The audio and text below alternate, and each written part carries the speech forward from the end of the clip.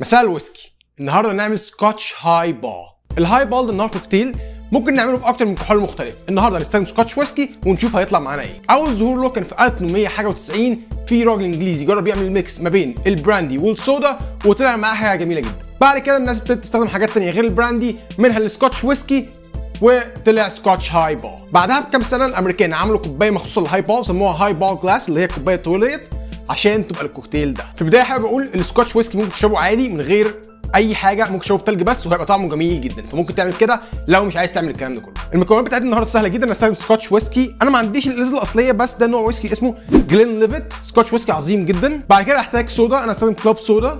بعد كده قشرة ليمون أصفر. أنا مش هحتاج الليمون ولا عصير أنا هحتاج قشرة ليمون بس. يبقى زي ما قلنا 50 مللي Scotch whisky 100 مللي club soda قشرة ليمون. أول حاجة أعملها إن أنا أجيب الكوباية أحط فيها تلج.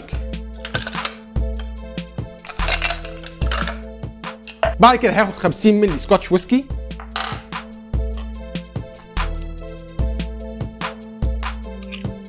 جميل جدا وفعلا ريحته روعة.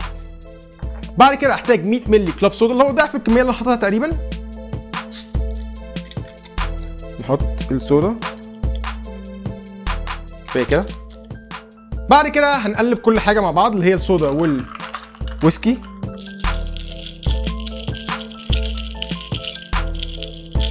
بعد ما خلصت تقليب كده المشروب أو الكوكتيل بتاعي نفسه جاهز أنا عايز ازوقه بقشره ليمون وكمان هتديها طعم. أنا مش عايز عصير ليمون أنا عايز بس هاخد قشرة بقشرة ليمون كده حوالين دايرة ما يدور الليمونة. كده زي ما إحنا شايفين.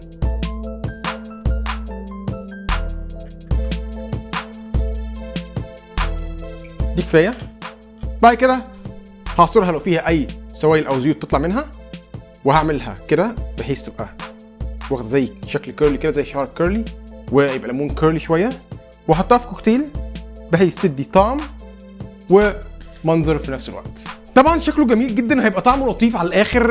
ال ال الناس اللي مش بتحب الويسكي برضه هتلاقي إن ده شيء لطيف إن هو لو عندهم ويسكي ومش عايزين يشربوه لوحده هيلاقي إن حاجة زي كده تخفف الدنيا شوية وهتلاقي الموضوع أسهل ليك. أنا عن نفسي بحب ال Scotch whisky بشكل عام فطعمه هيبقى حلو بالنسبة لي ايا كان هشربه إزاي. بس كده اتمنى ال Scotch highball يعجبكم ويعلي معاكم على الآخر. هو بسيط جدا وزي ما خدتوا بالكم عملناه في دقيقتين أو أقل تقريبا. فهو يلا نقوم نعمله دلوقتي حالا. أيوه يلا قوم اعمله دلوقتي حالا. الفيديو الجاي بقى هنخرج من اسكتلندا اللي إحنا كنا فيها النهارده ديت ونخش على أيرلندا. هنعمل حاجة مش كوكتيل بس هتبقى معانا نظيفة قوي معانا.